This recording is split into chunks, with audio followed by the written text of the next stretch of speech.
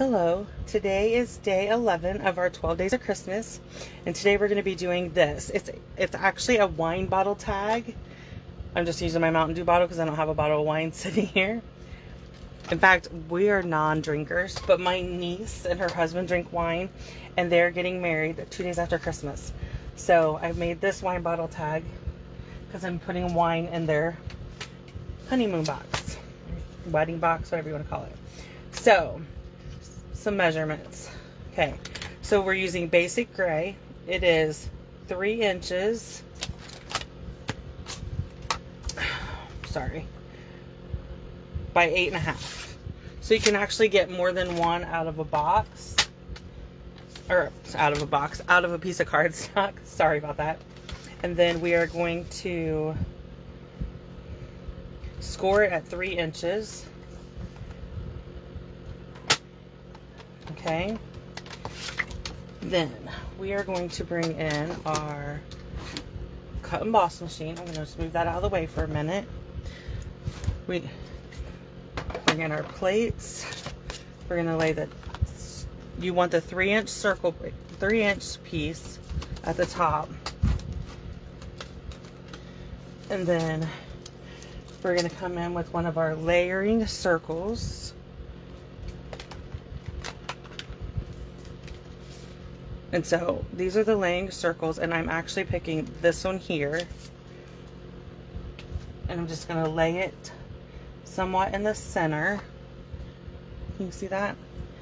And then we're just to run it through. Okay. Close this up. We're done with it. Put that stuff away. Okay, then we're gonna fold on our score line and that makes our tag, our wine bottle tag, okay? So then we're gonna bring in our designer series paper.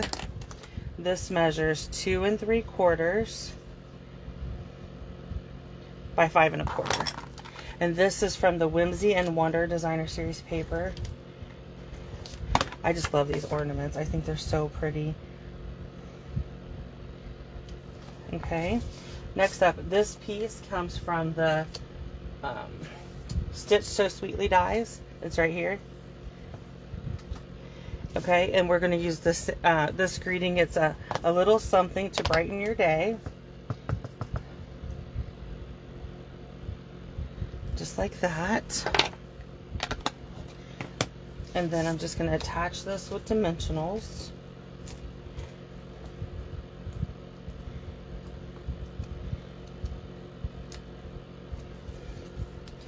Right here in the middle. And there you have it. It's that easy.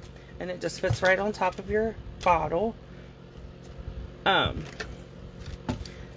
so, like I said, these are really cute and fun, easy to make, and it doesn't take a lot of time.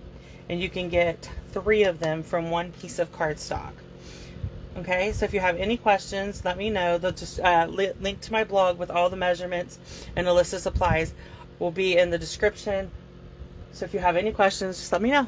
Thank you.